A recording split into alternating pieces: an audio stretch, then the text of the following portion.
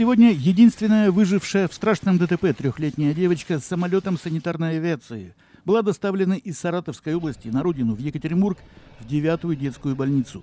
Напомним, вся ее семья погибла на месте.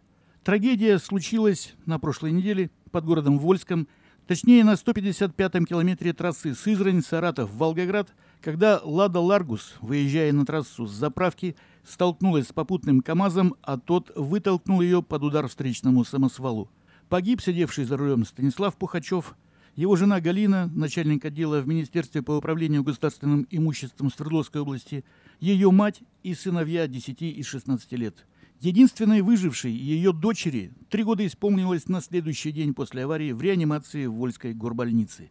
Сегодня, спустя пять суток после трагедии, ее состояние по-прежнему тяжелое, стабилизировалось настолько, что стала возможна ее перевозка без опасений.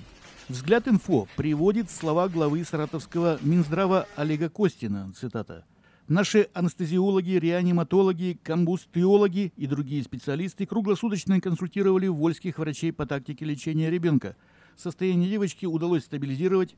Почти сразу ко мне обратился мой коллега, министр здравоохранения Свердловской области Андрей Карлов, с просьбой организовать транспортировку маленькой пациентки домой. Мы приложили все усилия, чтобы девочка попала к родным – много организационных моментов, получить воздушный коридор, продумать оптимальный маршрут, до заправку самолета в промежуточном пункте посадки.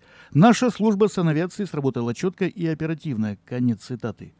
Ребенка погрузили на специально оборудованный самолет саратовской санавиации. Это бывший Ан-2, сделанный еще в Польше и недавно модернизированный в Новосибирске до версии ТВ-2МС.